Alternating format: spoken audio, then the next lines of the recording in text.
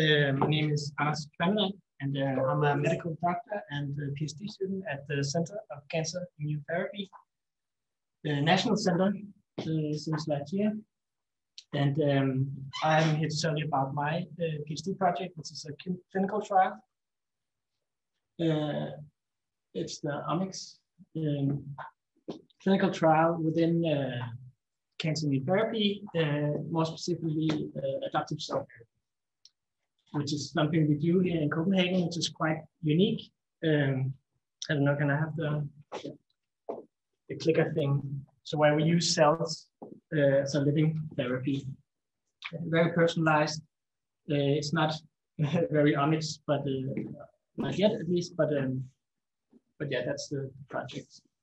Uh, first, because we are a very diverse group, I just want to say that immune therapy is uh, new. Uh, some people think at least.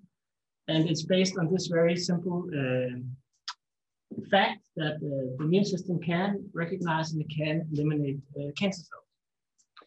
It fails to do so, uh, which is why we have uh, cancer. But um, um, these, some of the one of the reasons that it's failing is because uh, the immune system has uh, regulatory pathways which we call checkpoints, that um, that negatively inhibit uh, that inhibit this uh, recognition and elimination.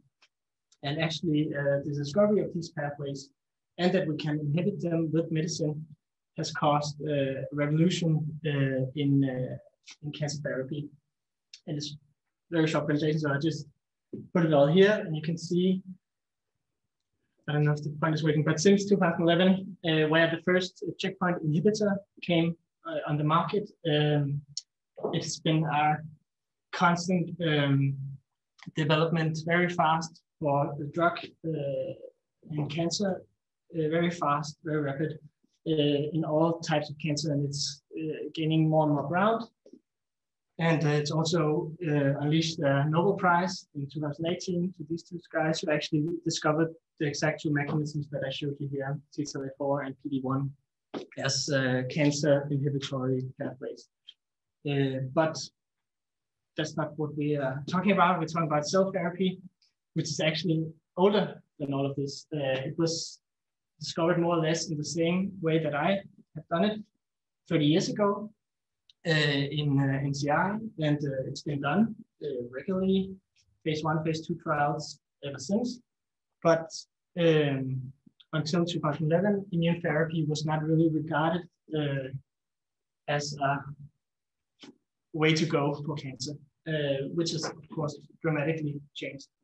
Uh, which is also why my project is even possible because immune therapy is very interesting now. Uh, and of course, there's also new combination options. So, but what we do or what he did for 30 years, uh, what we did for 30 years is actually uh, this.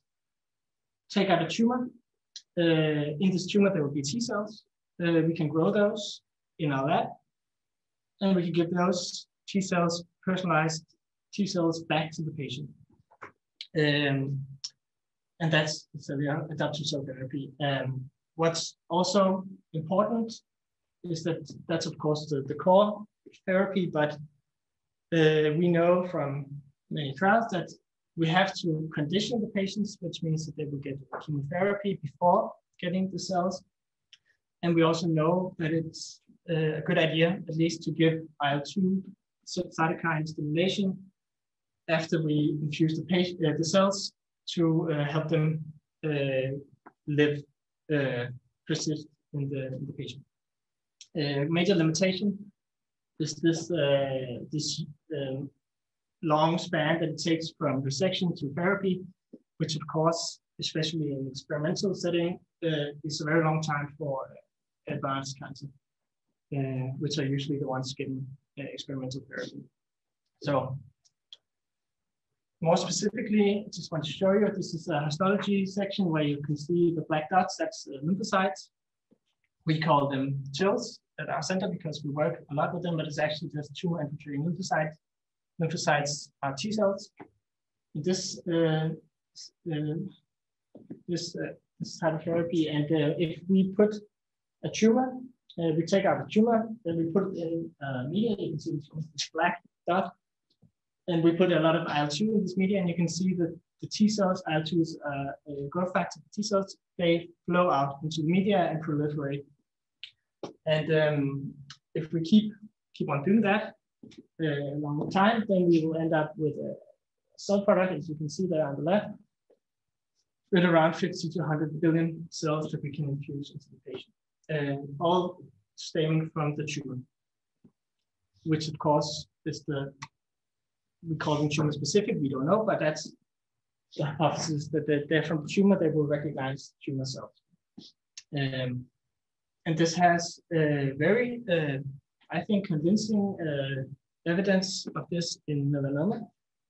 50% uh, of patients respond, which means that the tumor uh, gets smaller.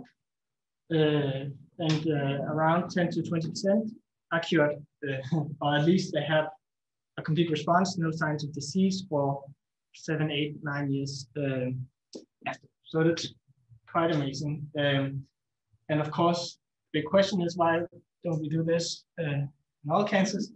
Uh, and the, uh, the answer is uh, that's what I'm doing, uh, and um, and it's also based on the fact that all these studies show that in almost all cancers we have these tumor-infiltrating lymphocytes. They recognize cancer in vitro, and they can also be expanded, like I showed you in melanoma. Um, and um, and yeah, so so yeah, it's, it's uh, an open door that we should at least try. So that's my study. Um, that we took this therapy and we converted it to uh, a basket trial, which means that we uh, included all types of diagnosis. Uh, and we included patients based on the feasibility, which meant that we, we had to have a patient where we could safely remove metastasis. Uh, and um, but we still need some disease in the patient so we can see if our therapy works. And this sort of feasibility uh, inclusion and also a safety exclusion where, for instance, brain metastasis is bad because of the chemotherapy, which would uh, give a, a, large risk of bleeding. So, um, and of course, there should not be able, there should not be any more standard therapy available to these patients because this is very experimental. So we also uh, combined it, as you can see with the orange uh, uh, marks here. We combined it with checkpoint inhibitors, uh, checkpoint inhibition uh, in a way where we uh, try to um, do it as as theoretically the best best way possible, and that is that we use ipilimumab before checking out the tumor and nivolumab when infusing the cells. And uh, I, I, can't go into it now, but that's sort of how the drugs work, uh, that we hope that it will optimize the therapy. Um, and of course, uh, while we're doing this, we're also gathering a lot of material, uh, which I'm looking at now to, uh, to learn more about this therapy. Um, so, but we actually already finished. Uh, I'm handing in my thesis next month. and um, this is the patients that we have uh, treated. And you can see a lot of melanomas. Um, we have a trial and you know it works in melanoma and we're melanoma center, then uh, we're gonna recruit some melanomas. Um, but we also had a lot of different untested uh, cancer types, as you can see. And common for all these patients, they're very advanced. They have the, the late stage disease. Um, and uh, of course they need at least two metastases. So so they have uh, they have a lot of disease. Uh, so so uh, we actually recruited more patients. Uh, as you can see, we recruited 31. But uh, even though we try to find patients that we expect to to to hold out for therapy, it's not possible always to know how fast cancer disease will uh, develop. Um, so, uh, but we saw uh, that we could do this. We saw that uh, we could grow TILs, we could grow uh, T cells in almost all patients. Uh, we could also get them uh, committed for therapy, and we could also give all this plant therapy um, into the patients and still manage the, all the toxicity that which is expected because it's a very uh, comprehensive therapy. So we know it takes a lot of uh, it takes uh, it has a lot of toxicity uh, and uh, but it has that in melanoma as well and it's a one-time therapy so so there's sort of these pros and cons of this uh, and of course we saw which is new a lot more immune related side effects but also expected because we give checkpoint inhibitors so regarding clinical efficacy, we saw some responses. Uh, you have to remember that it's very sick people. They are not, they, some of them have already had immune therapy as an experimental therapy um, and progressed. And they come to us and we try uh, to do this.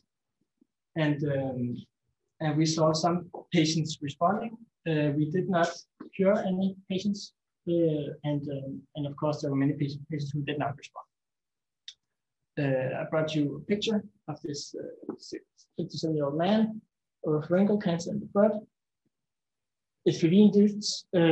he had received lines of chemotherapy and also PD-1 experimental wise. And uh, as you can see, two months after therapy, his lung testes, uh, I can make some arrows, uh, got a lot smaller from this therapy. And yeah, as I will discuss, yeah, this is this is at least for us some sign that it could work this therapy.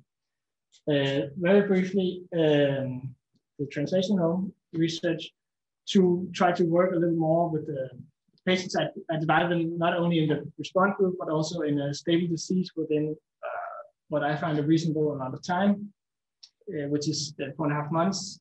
These are patients that are progressing actively when they come to us. Uh, and um, so I divide the patients into these groups, and I could see that this uh, these types of T cells appear more prevalent in the, in these patients that are actually having some kind of benefit from the therapy. So, of course, this is a, a complex therapy. It's very personalized. Um, it's very uh, comprehensive, so it's not easy to uh, perform. Not many centers can do it. Uh, it has very significant toxicity, but uh, it's uh, I think this study showed that it's a platform that could be applied to not only melanoma, but many cancer forms.